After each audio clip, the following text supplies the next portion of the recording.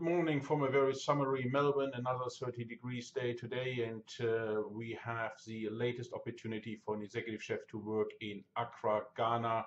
And for this position, we're looking for applicants who have very strong African experiences, come out of corporate hotels. So we are not looking for resort chefs. We're looking for people who have really worked within corporate hotels of uh, chain properties.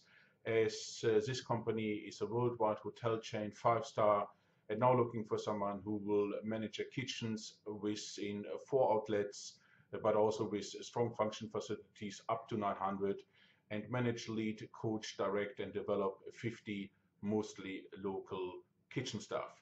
Importantly, this uh, position is on single status. We're looking for someone who really cares about the employees' welfare, has the ability to really spearhead the kitchen and be a very strong and sociable leader. The salary for this position is 66 to 72,000 dollars net, single status only.